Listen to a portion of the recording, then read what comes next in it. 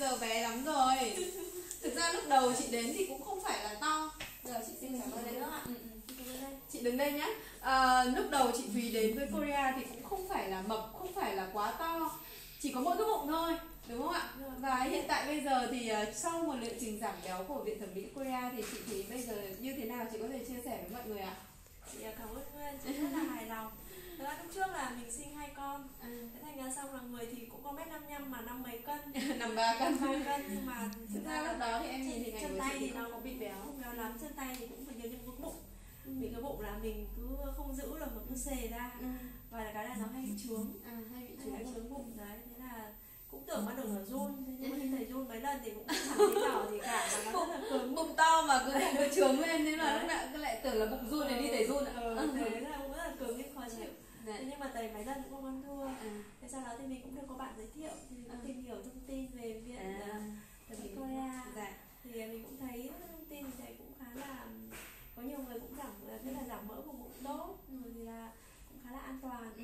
nên mình cũng quyết định là thôi thử đầu tư cho đầu tư cho cái sắc đẹp của mình à thực ra phụ mà sinh hai con rồi mà đến tầm này rồi mà không đầu tư cho sắc đẹp của mình là hơi bị phí đấy ạ và hiện tại bây giờ thì chị em thấy là chị mặc một chiếc váy nhưng mà em thấy rộng lắm ừ, chị đang mặc size bao nhiêu rộng đấy size này là size size size L đấy size L hả? Ừ, size L đấy. Thì tất nhiên rồi, nó size L là sẽ bị rộng như vậy. Chắc là quần tủ nó phải thay đổi lại hết Chưa kịp thay đổi đúng không? Chưa kịp là phải phải giảm đi à. một là phải giảm size ngày xưa là mặc size L. Mà bây giờ em thấy thì nó đúng là nó rộng hơn rất là nhiều rồi. Rồi, bắt một size hai size đấy. Vậy bây giờ chắc là chị chỉ mặc XS thôi. Chị bây giờ chị còn bao nhiêu cân? Bây giờ thì còn là 45 cân, 45 cân mấy lạng, 7 lạng. À, 45 cân 7 lạng. Thực ra bây giờ là mọi người nhìn nhá, chị Thúy của ngày hôm trước chỉ có 53 cân thôi nhưng mà uh, mặc size L bởi vì cái bụng của chị rất là to mặc dù là người thì không béo nhưng mà cái bụng rất là to nhưng mà hiện tại bây giờ thì chỉ còn có 40 45 cân, 45 cân, cân 7 lạng tức là sấp xỉ 46 cân tức là chị giảm sau liệu trình giảm béo này là chị giảm được khoảng 7 cân rồi 8 cân 7 8 cân rồi. Và bây giờ thì vòng eo đã rất là bé rồi và em thấy là tương đối là gầy rồi. Thì bây giờ cố gắng làm sao duy trì chế độ ăn uống. Và cái quá trình làm giảm béo thì chị có cảm nhận gì? Ví dụ như ngày thứ bao nhiêu thì chị đào thải vào cái quá trình mà bây giờ về cái vấn đề trướng bụng đầy hơi của chị ấy, thì chị còn có thấy hiện tượng bị như vậy được không?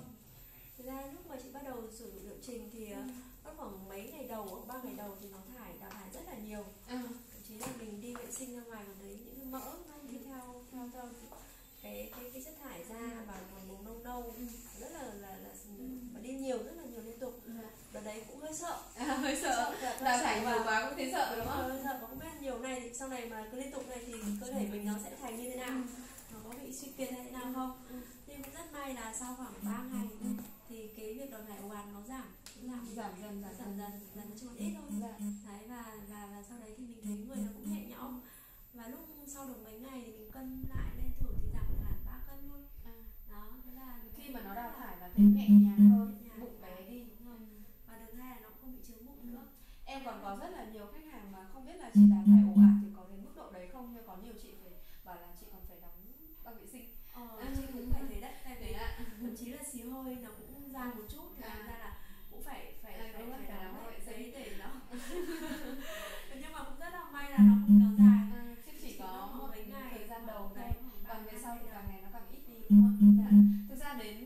với cơ thể như của chị có thể với những người khác người ta có thể giảm 10 cân 15 cân nhưng với cơ thể của chị chỉ 6 7 cân như thế này là em đã thấy gầy rồi. Và chỉ cần như vậy thôi chứ đừng gầy quá nữa nhé thì bây giờ cố gắng là, là giữ cái này là tốt rồi. Bây giờ cố gắng về duy trì chế độ ăn uống và tập luyện để làm sao mà giữ được một